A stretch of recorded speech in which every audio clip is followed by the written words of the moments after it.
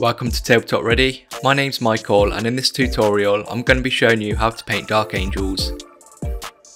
I'm going to be showing you step by step how to paint the armour with heavy metal highlights, paint details and accessories, and finish this tutorial by showing you how to paint any robes and cloth as well. If you want to know how I get my miniatures ready for painting, make sure to go watch the tutorial I made showing you how I do it.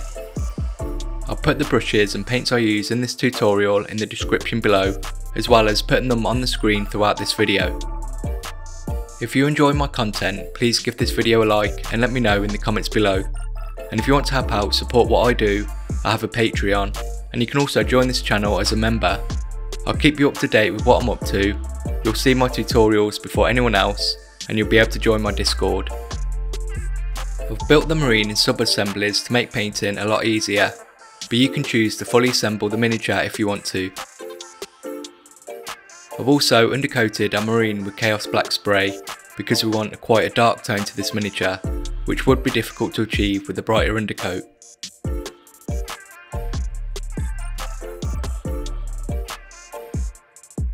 The first thing we want to do is paint a nice smooth solid base colour which we can shade and highlight. Let's start by painting our Dark Angel's armour with Caliban Green and using some painting basics to achieve a nice smooth finish. When painting, I recommend thinning your paints first of all with an equal amount of water and this is going to give you more control.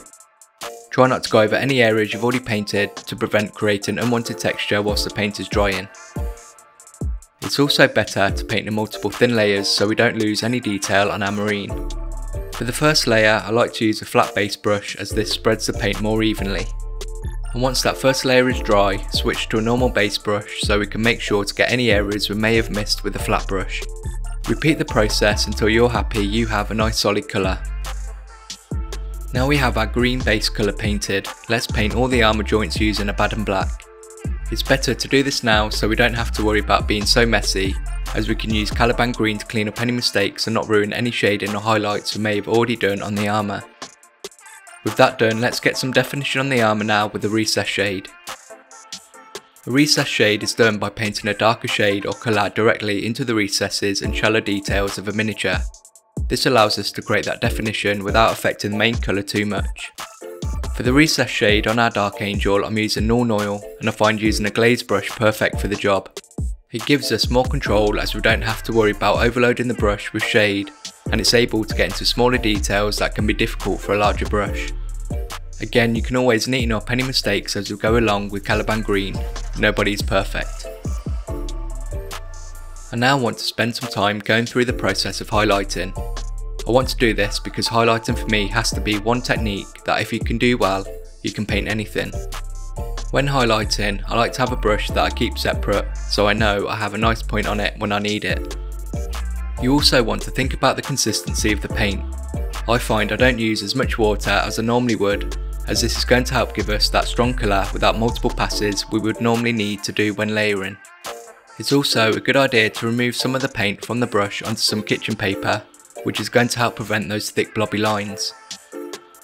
The first highlight I'm going to show you is a chunky highlight, and I'm using an equal mix of both Caliban Green and Warpstone Glow. This first highlight wants to be quite a thick line, and this is going to help soften and bring out the next highlight we do. It's also going to help with defining the shape of those armour panels. Go around all the panel edges and I'm almost using the side of my brush for this highlight to get the thickness I'm after. The next highlight I'm going to show you is the fine highlight. I'm using Warpstone Glow and this highlight is going to bring out all those sharp edges making them really stand out.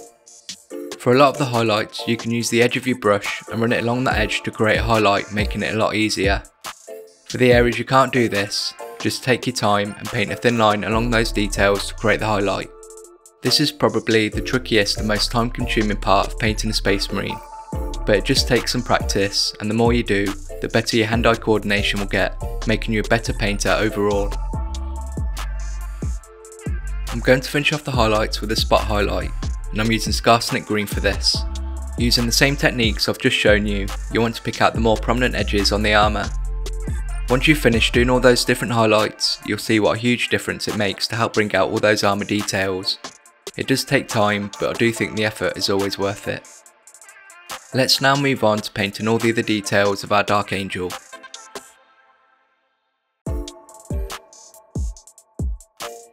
The next thing I like to get painted on a marine after the armour is all the metals.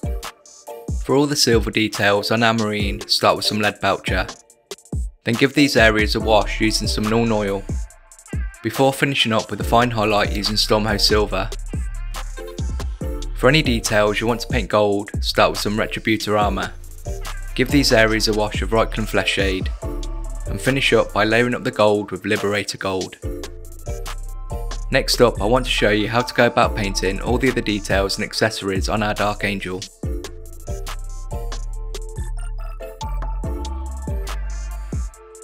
I want to go through getting all the other details on our Dark Angel painted now, starting with finishing the armour joints.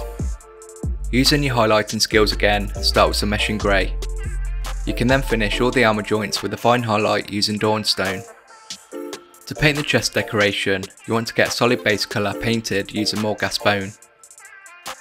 Next, layer this up with some Ushabti Bone, making sure to leave that Morghast Bone showing in recesses to give us some definition. Finish the chest decoration with a fine highlight using Pallid Wych Flesh. Dark Angel bolters tend to have a red gun casing, and to paint this I would start with some Mephiston Red. Then give this a wash using some Nuln Oil. Now layer up the bolt gun casing with some Evil Sunz Scarlet to really make it stand out against the green. And then finish up the bolt gun with an edge highlight using Fire Dragon Bright. You'll want to paint any belts and pouches as well. For these I would start with some Rhinox hide, then paint a chunky highlight with some Mournfang brown. And to finish painting any belts and pouches, use some Karak stone to paint the highlights.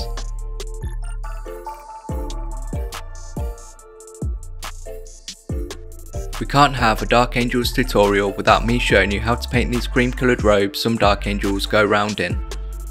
First thing you want to do is to paint a solid base colour using Morghast Bone. Remembering multiple thin layers is always better to achieving a nice smooth finish. We're now going to paint some Zandri dust into the deeper folds of the cloth. I find thinning your paint slightly more than usual will help whilst doing the next few steps to help blend all the layers together. We now want to work up on the raised areas with some Ushabti bone, making sure we can still see that Morghast bone as a mid-tone. We can make the transitions between the colours a lot smoother by using some of that Morghast bone where the colours meet to help blend them together. Next we're going to take the raised areas to Screaming Skull, and then just like before use some Ushabti bone to help smooth the transition. And finally finish any robes with a highlight using Pallid Wych Flesh. And to finish up our Dark Angel we still have to paint the lenses on the helmet Start with some Mephiston Red. Now paint a thin line along the bottom edge of the lenses with some Fire Dragon Bright. Then finish the lenses with a small dot of white scar in the top rear corner of each lens. Our Dark Angel is now finished and I hope I've been able to give you the confidence and knowledge to go away and paint your own. I've got plenty of other tutorials on the channel including how to paint some of the other Space Marine chapters I really enjoy making these tutorials and I hope you find them useful. You can really help the channel by liking the video and commenting below. You can also support me as a channel member or becoming a Patreon, which makes a massive difference in helping me make these tutorials. Make sure to subscribe if you don't want to miss out on future content, and I'll see you in the next video.